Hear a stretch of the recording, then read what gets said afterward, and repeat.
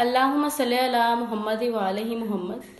अल्लाह ताला ने अपने प्यारे नबी और उम्मत को रमज़ान का महीना तोहफा दिया और ये ऐसा महीना है जिसमें हम अल्लाह ताला की रहमतों और बरकतों को इकट्ठा करते हैं और अपने गुनाहों की माफ़ी मांगते हैं।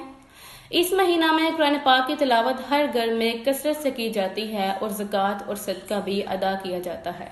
और दूसरी तरफ़ इमरान न्याजी और उसके साथी जो लोगों को इस महीना की बरकत से दूर करके यहूदी और बिरोनी एजेंडे पर इस महीना में काम कर रहे हैं।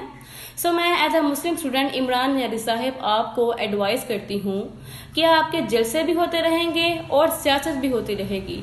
ये जो आप अपने जलसों और झूठी शोहरत पर करोड़ों रुपए खर्च कर रहे हैं अगर यही पैसा आप गरीबों मस्किनों यतीमों और बेवा पर खर्च करें तो ये आपकी बख्शिश का ज़रिया बन सकता है।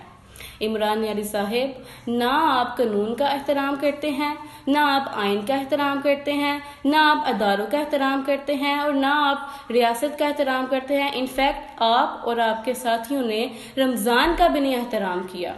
सो आज शाह महमूद कुरैशी साहब ने मीडिया पर आकर अवाम को दावत दी कि आप ला इलाहा इल्लल्लाह का विरद करके जलसे में आए। शाह महमूद कुरैशी साहब आपको अपनी माओ बहनों और बेटियों को ये पैगाम देना चाहिए था कि आप ना तो खुले बालों जीन टाइट्स शॉर्ट शर्ट्स पहनकर नहीं आए ताकि हमें पता चलता कि आपके दिल में दीन की कितनी को कदर है। सो so, मैं लास्ट पर आंटी बिश्रा आपसे रिक्वेस्ट करती हूँ कि आप तो नमाज़ की पाबंद और दीनदार हैं।